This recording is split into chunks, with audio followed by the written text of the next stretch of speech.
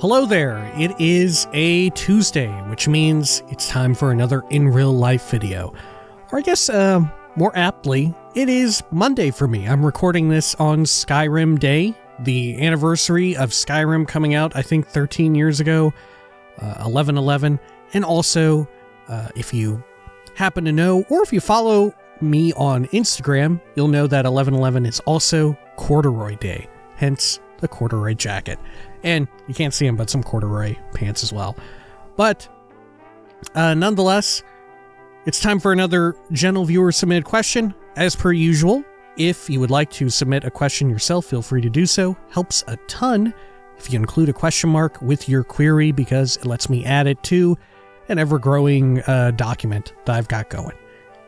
Anyway, this week I thought we would do something sort of tied to Skyrim, right?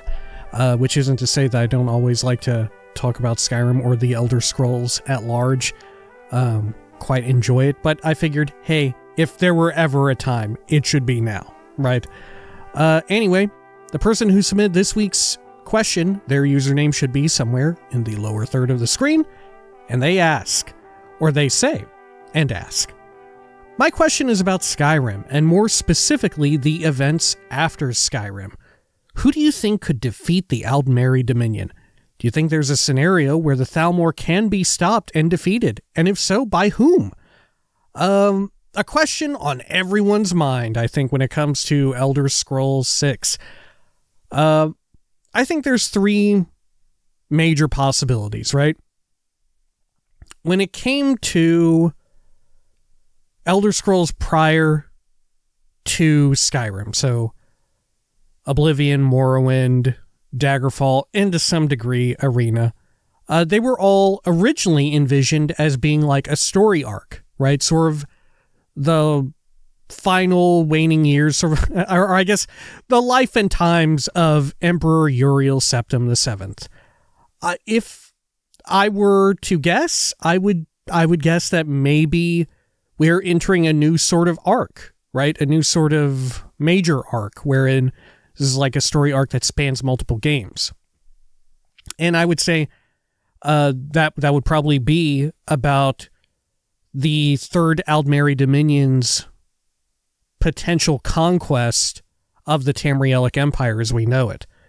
And if we assume that this is meant to be a major arc, I would guess that Elder Scrolls 6 will be, you know, the dark middle chapter, as it were and sort of the Aldmeri, the third Aldmeri Dominion at least, will see its conclusion. That that arc will come to a conclusion with Elder Scrolls Seven.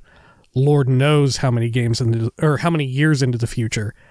And I and I guess games. I don't know. There could be a spinoff. I doubt it, but there could be. Um, but there is that route wherein we're kind of in the middle of things with Elder Scrolls Six.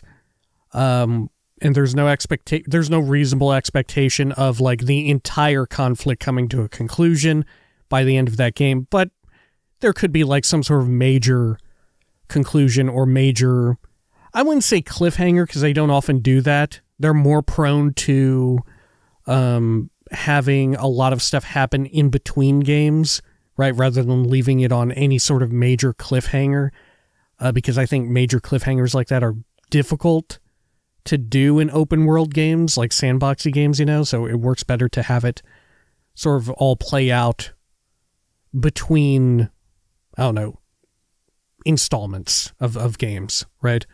So I think I'm open to that possibility. I think that's likely. Um, also, gosh, what was my third one then? Hmm.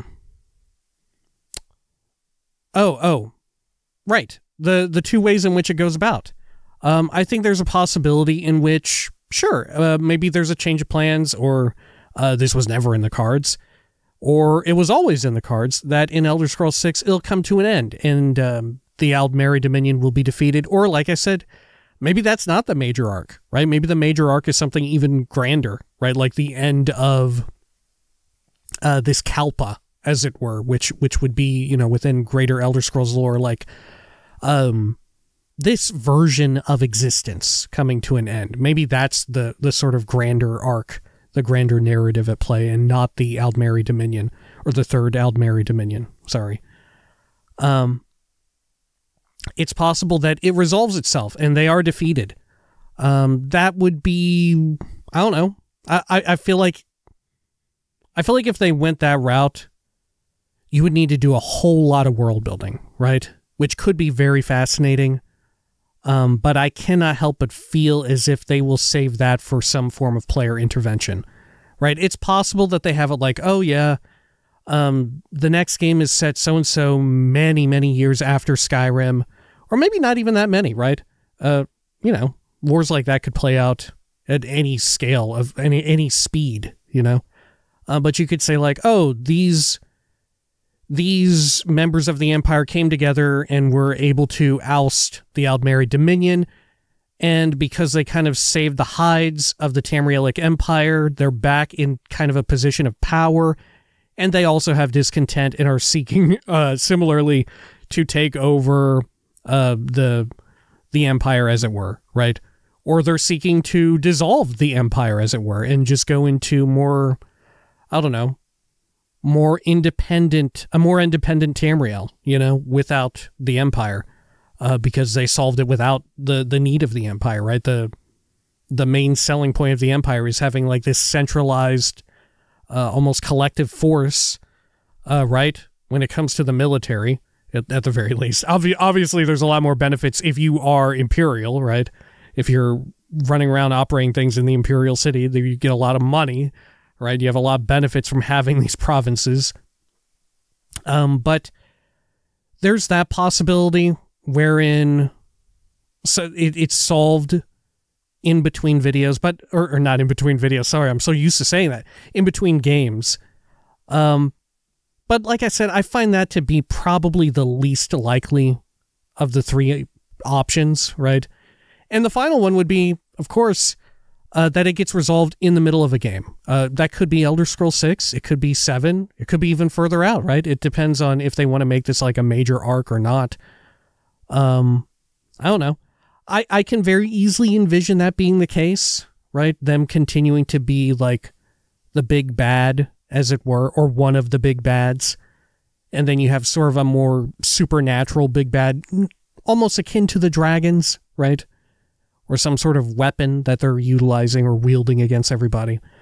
Uh, but it's so easy to envision a sort of world in which there's an Elder Scrolls game and you have to broker peace and unite a whole bunch of um, sort of key militaries, right? Um, if we're looking into like Elder Scrolls 6, there's like scuttlebutt and rumor which I think is completely unfounded, right? I, I, I don't think there's anything solid about this whatsoever. Um, about it being in like sort of the the High Rock, Hammerfell area, maybe like a dual province game.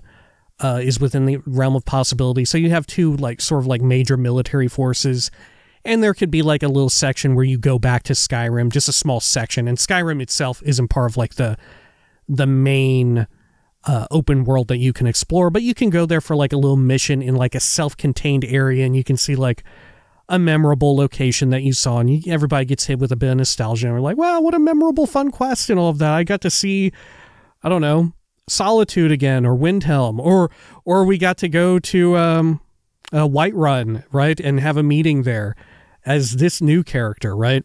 It's very cool to see the the town again, right? You could totally do that. It, like I said, it writes itself uh, sort of uh, very, I don't know, very tropey, very tropey. Uh, how, how many fantasy works of fiction have it to where you're like unifying several, I don't know, or, or just how many grand works of fiction in general, not let alone fantasy, wherein uh, the protagonist must somehow unite all of these uh, different groups under the same banner. Um, Lord knows that's kind of what you do in Skyrim itself, right? You you don't necessarily unite them, but you get them to have a ceasefire, so that way uh, you can sort of take on the dragon threat. Uh, same goes with Oblivion. You're like uniting all of the different, uh, what do you call them, major cities beyond the Imperial City uh, sort of uniting them all at the Great Gate. I guess Morrowind isn't exactly like a story of unification in that sense, right? Morrowind, not so much, right? And uh, dating back, I, I don't actually know. I, I don't know for sure how, how they all play out. Uh, probably on the to do list, right? Uh, to, to figure it out. Uh, but nonetheless, like I said, it's so tropey, it, it practically writes itself.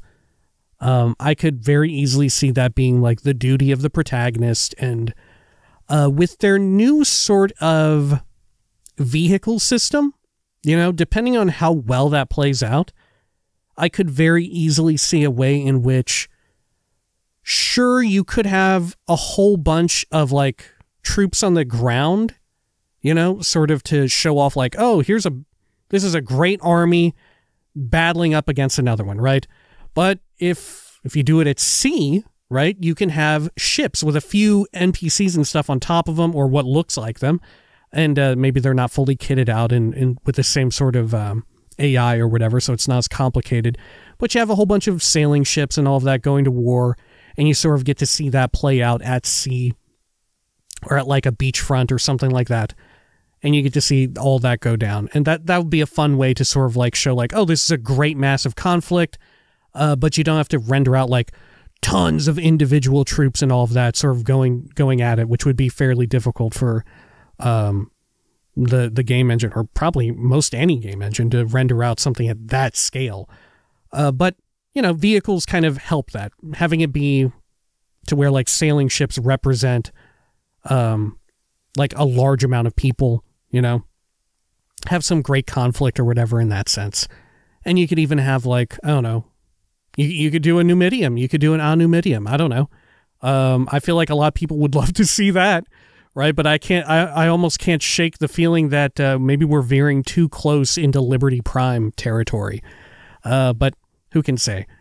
Uh, either way, like I said, uh, that that's the main thing I could see for Elder Scroll Six is that it's the player who is solving it. It's the player who brings together a bunch of like military powers in order to uh, go up against the Aldmeri Dominion. Um, I guess there is the option, right? Uh, there there is a way in which uh, you lose, right? In which everybody loses against the Aldmeri Dominion. They have completely taken over the Tamrielic Empire, right? Uh, maybe they are this party in which they win, right? They have completely subsumed the the Tamrielic Empire. They've taken over. Um, it becomes the Aldmeri Empire, or the the Dominion Empire. I, I don't know.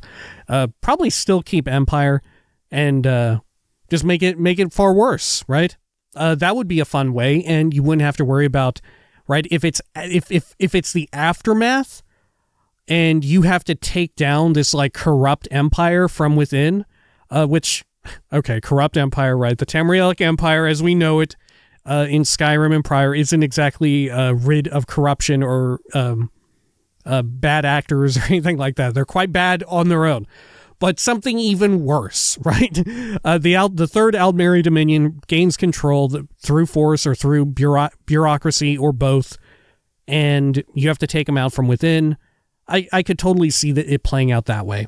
And if anything, that'd be far easier to do because you don't need to do any sort of like immense battles for the big final showdown. It could just be you know, it could it could be very Star Wars. It could be very Luke Skywalker versus Darth Vader at the end, except probably without the twist, right? But you could have very very much like a uh, two individuals kind of going at it who are particularly skilled or whatever in some big ultimate showdown.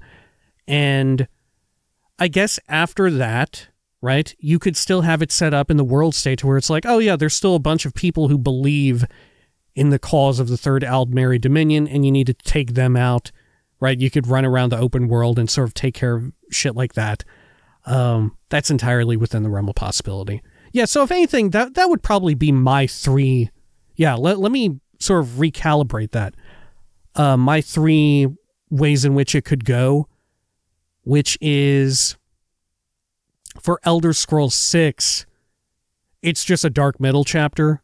Um, right? We don't see it resolved in the next game, or it is resolved and it resolved in the favor of the Aldmeri Dominion, and you must bring them down, right? Sort of, uh, like I said, uh, you could have it be very XCOM 2, right?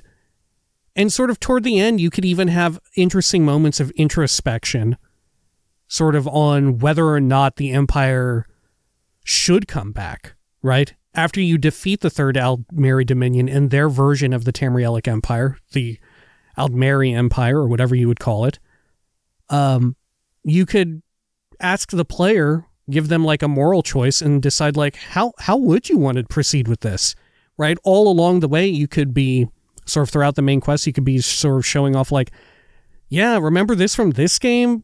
Maybe the the Empire wasn't that cool, right? Maybe uh, have you ever thought about how maybe the Tamrielic Empire kind of sucks? Actually, um, do we really want them back after all of this? After we've gone through this, maybe we could inst- we could seize this moment to institute our own kind of change, right? But of course, by by way of going through that, um, I don't know how you would write Elder Scrolls Seven if you give the player that much agency over it, right? So you're kind of put in a difficult spot. Uh, that said, of course, if you want to, just make it significantly further in the future, like how they did with Oblivion, right? Um, put enough time in between the games uh, in world, and you don't have to worry about that kind of thing. And like I said, the um, the third one being that the player resolves it, right?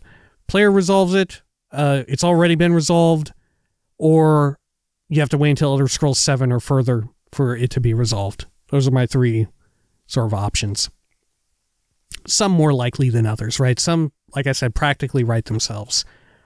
I think that all do it, right? Those are my thoughts on sort of the status of the Aldmeri Dominion. I think they're too fun and perhaps too prescient of a villain to let go so early, right? I feel like there's still a whole lot that you could write about them, about sort of like a hostile, ill intending force taking over, right?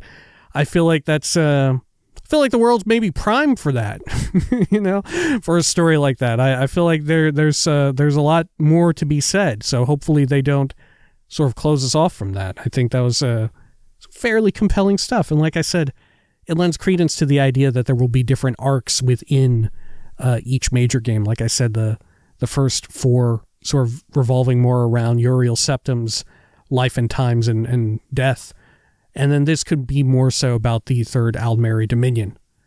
Anyway, that ought to do it for this week. Until next time, please take care of each other.